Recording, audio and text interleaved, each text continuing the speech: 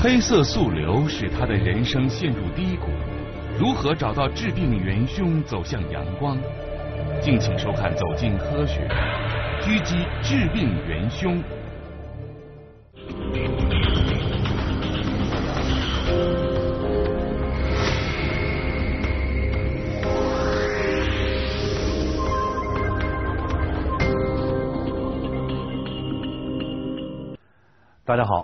今天开始呢，我们给您推出了一个新的系列节目，叫做《肿瘤启示录》。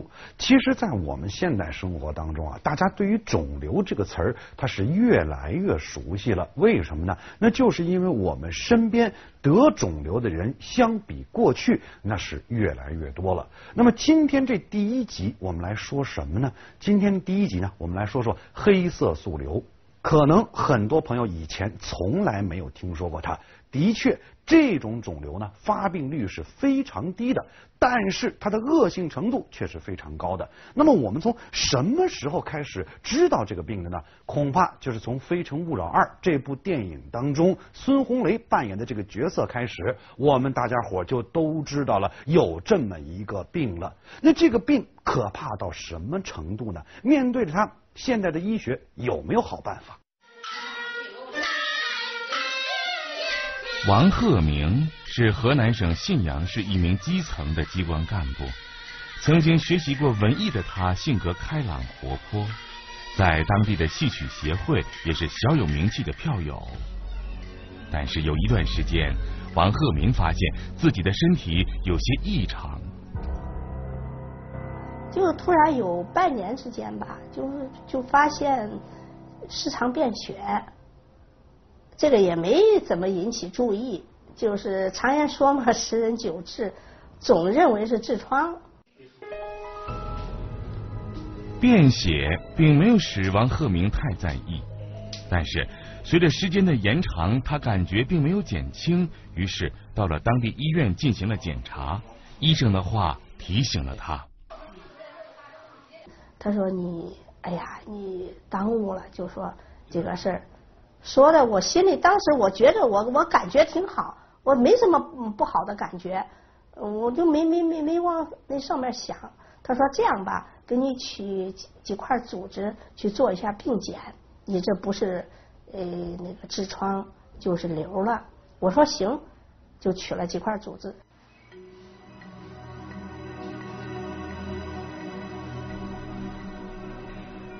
当河南信阳市中心医院病理科的技术人员看到王鹤鸣的病理图片，也觉得他的情况不一般。经过认真核对，最终认为王鹤鸣肠道内的肿物为黑色素瘤。此时的王鹤鸣并不知道自己得了什么病，家人也含糊的告诉他需要住院治疗，但他从家人的反应中也有所察觉。底了，这个病肯定是不好的病，不然的话，家里这种表现给我的第一反应，我思想上是有点底的。然后咱们去探医生的情况，也是要了解真实的情况。我说我的工作，我的家里的一切事情，我都要安排，你一定告诉我。然后呢，我就努力的去配合你们治疗。尽管王鹤鸣已经有所准备，但是听到黑色素瘤的名字时，还是有些疑惑。自己的皮肤并没有什么改变呢。皮肤是人体最大的器官，可以分为表皮、真皮及皮下组织。其中表皮分为五层，最下面的是基底层。而黑色素细胞就位于表皮基底层，它产生黑色素，决定着皮肤颜色的深浅。恶性黑色素瘤起源于黑色素细胞，当黑色素细胞发生恶变的时候，就会形成黑色素瘤。黑色素瘤好发于皮肤，而王鹤鸣的黑色素瘤发生在直肠黏膜上，这使得治疗难度增加了不少。他说：“你这是一种恶性肿瘤，就是俗称的癌症。但是你这种肿瘤呢，又在所有肿瘤种类里边发病率低、死亡率高。这个肿瘤的种类呢，就是恶性程度高。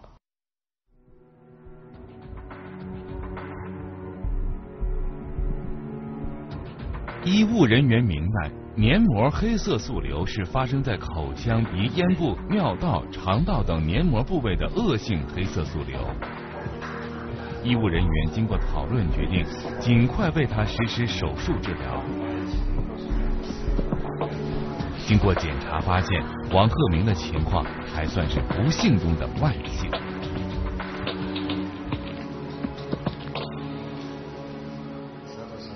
全身呢没有远处转移，他的肿瘤呢还局限于这个肛门的局部，啊，我们就决定了啊给他进行手术。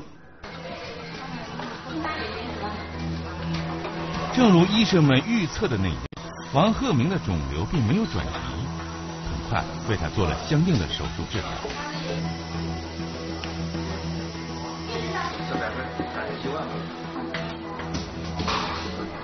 手术以后，医务人员也把病情告诉了他。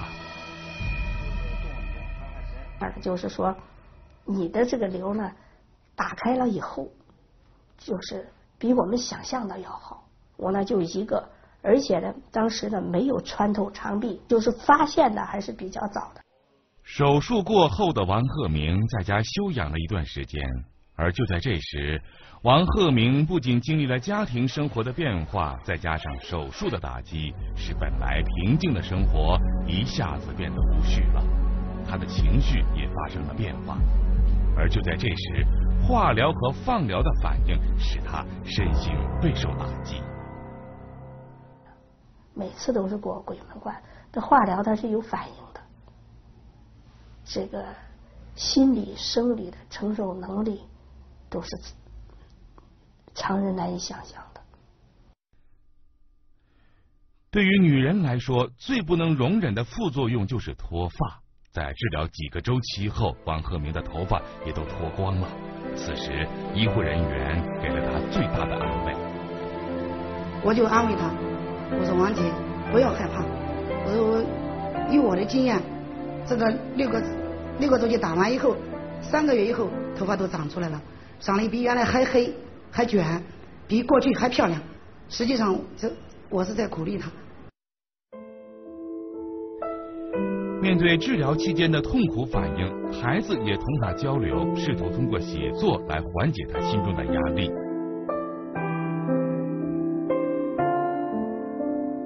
不少朋友得知这些情况以后，也来看望他。就这样，在大家的鼓励下，王鹤鸣鼓起了生活的勇气。治疗也取得了相应的效果，孩子也期盼着母亲能够与自己相伴的更久。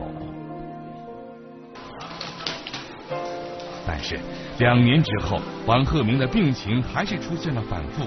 经过检查，他的肝部和肺部脏器出现了转移的情况，医生们也很着急，但苦于没有有效的对策。根据当地医生的建议，王鹤鸣来到了北京大学肿瘤医院。酒鬼酒馥郁香，提示您精彩继续。她曾经是喜爱文艺的女性，是黑色素瘤改变了她的命运。请继续收看《走进科学》系列节目《肿瘤启示录》，狙击。其实，在我们每个人的身上都会有痣啊。您就比如说，在我脖子这儿啊，大家可能要注意的话，就发现啊，我这儿就有一颗黑痣。那可能有些朋友就会担心了，那我要是有痣，我这个痣它会不会转变成为黑色素瘤呢？咱们说这种几率还是比较低的。但是有些痣，您比如说，这个是原来是平的。跟皮肤是齐平的，很光滑，但是它突然凸起了，变得坑坑洼洼了，时不时的还得溃烂。哎，那这种情况之下，您就一定要小心了，到医院去做一个详细的检查。咱们但愿它不是啊。应该说呢，得黑色素瘤的人呢，似乎在我们的印象当中，欧洲人比中国人要多一些。但是我们中国人得黑色素瘤呢，也有一大特点，什么特点呢？就像王鹤鸣女士一样，我。我们说呢，你看黑色素瘤给我们的感觉，它既然是跟痣有关，一定是在皮肤上吧？不，你想，它就恰恰长在了直肠上，是长在了黏膜上，觉得自己可能是痔疮啊，或者是其他的一些问题，根本没有往这个地方想。那这个病既然在我们中国人上表现的有些不同，我们对于它的治疗方法又有什么好办法呢？而黏膜黑色素瘤的特点是，它要恶性程度要比皮肤的黑色素瘤更加恶，进展速度更快，恶性程度更高，患者的生存期更短。所以治疗黏膜黑色素瘤难度就更高了啊。那么王鹤鸣这样的一个直肠的黑色素瘤，在过去咱们基本上是没有什么太好的办法啊。我们知道，因为他对放化疗不太敏感，那么基本上除了手术以外，别无他法。一般这样的病人生存期非常短。手术后的第三年。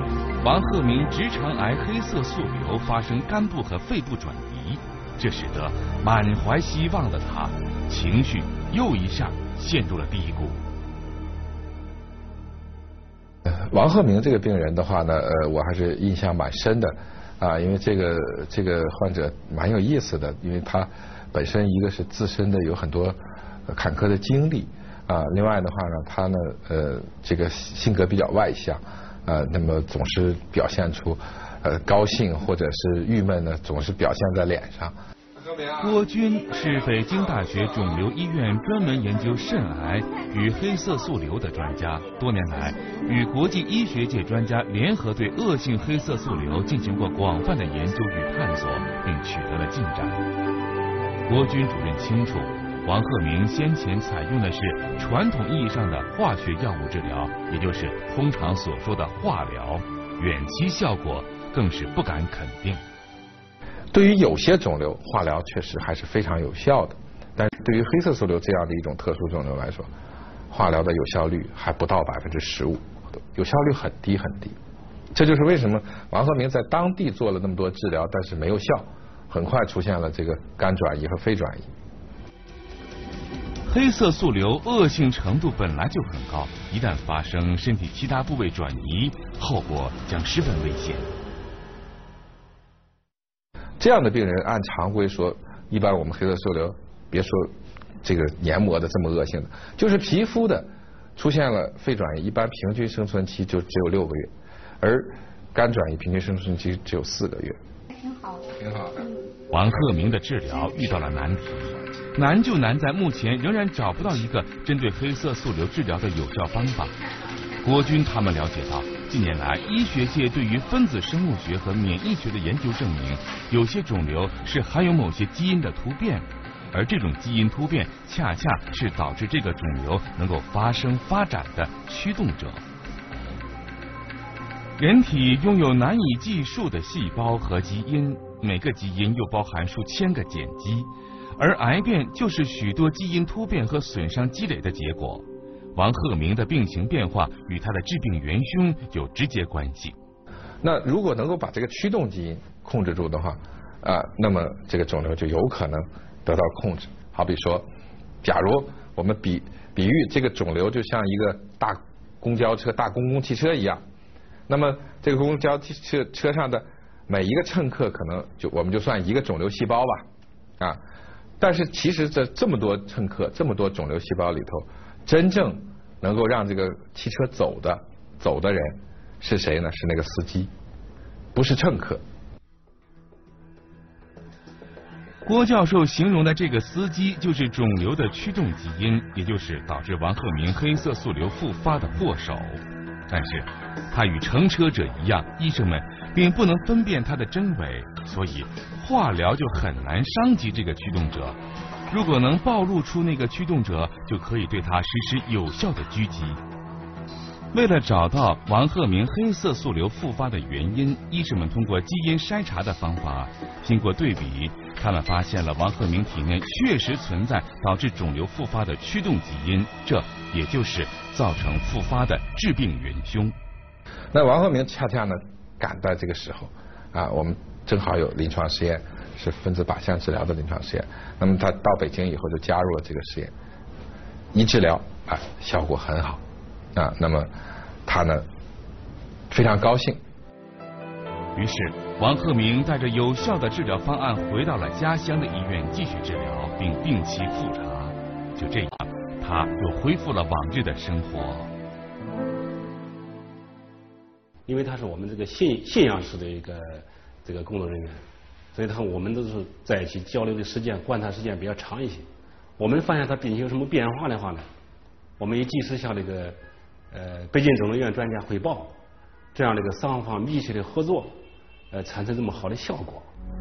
但是，一年以后，王鹤鸣又有了异样的感觉。经过医院的复查，原来他的肿瘤又变大了。他还不是一处，就左肝上一个，右肝上俩，就两个以上，就是属于多发的、多发的转移灶了。此时的王鹤鸣也在纳闷既然用有针对性的药物进行了有计划的治疗，怎么还会出现反复呢？于是他再次来到北京，找到郭军教授。在这个时候，那我们就开始寻找。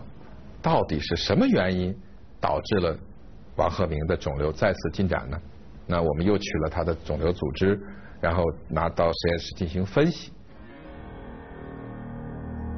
在医学专家看来，肿瘤细胞可以算得上是一个非常聪明的东西。当你消灭了驱动肿瘤发展的基因之后，其他的肿瘤细胞又会逐渐演变替代原来的驱动基因。只不过是改头换面，以另外一种方式出现而已。但是无论怎么变化，都会使黑色素瘤继续发展。王鹤鸣也了解了自己的情况，他也在等待找出新的致病元凶，并且获得新的治疗方案。酒鬼酒馥郁香提示您：精彩继续。她曾经是喜爱文艺的女性，是黑色素瘤改变了她的命运。请继续收看《走进》。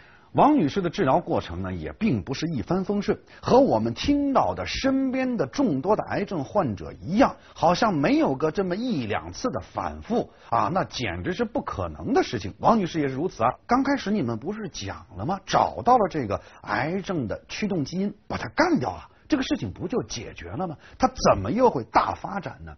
您想想啊，这一群癌细胞，其实它在我们的体内就像一群强盗一样，强盗总得有一个强盗头子吧？哎，我们把它抓住了，枪毙了。但是这些癌细胞还在我们的体内继续存活下去了，存活下去之后，慢慢的，它就会推举出一个新的首领。当然，这个首领是我打的引号啊。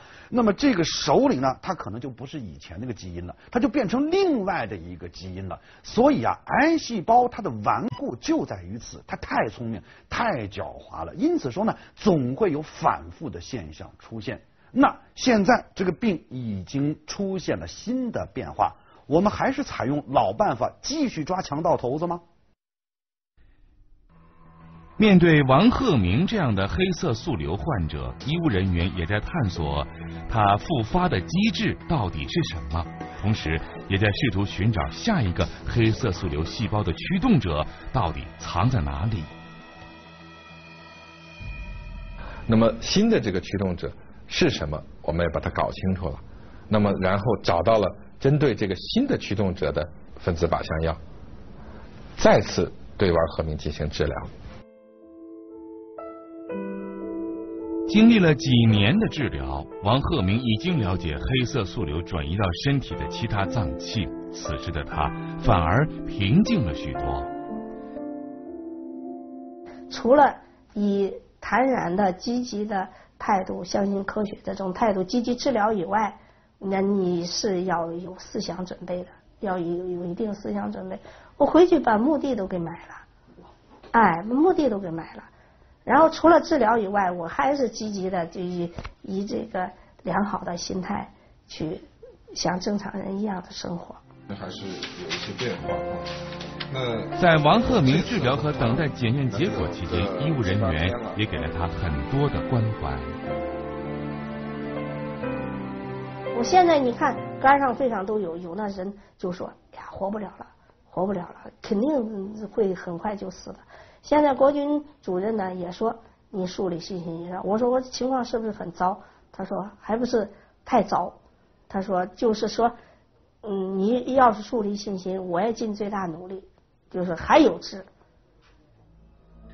医务人员通过对肿瘤组织检验分析对比，发现王鹤鸣肿瘤再次复发的原因是原来的驱动基因被抑制了，又出现了新的基因替代者。正是新的驱动者，使得黑色素瘤再次复发。找到了针对这个新的驱动者的分子靶向药，再次对王鹤鸣进行治疗，没想到效果又非常出奇的好。哎，王鹤鸣啊！哎，高主任你好。怎么样？还感觉挺好的。挺好的啊。哎，这次打了这个黏膜黑色素瘤的恶性程度要比皮肤黑色素瘤的恶性程度高，而且进展速度更快。原本生存希望渺茫的王鹤鸣，在医生们的不断努力下，再次获得了新生。他做梦也没有想到，自己的病导致两次生命危机，并且在科学技术的努力下，一次次的被挽救回来。从医学上来讲，那么从尤其是我们把它聚焦在黑色素瘤这样一个过去人人人就说人见人怕、望而生畏的这么一种恶性肿瘤啊，被称为癌中王中王。啊，它比所有的恶性肿瘤都恶，而且跟其他的肿瘤相比，是最没有治疗办法的一个肿瘤。现在相反，成为一个治疗效果最好的肿瘤，啊，效果好到让你觉得惊诧。直到二零一一年十二月，王鹤鸣的肿瘤再次复发，医务人员利用科学手段，又一次控制住了肿瘤的生长。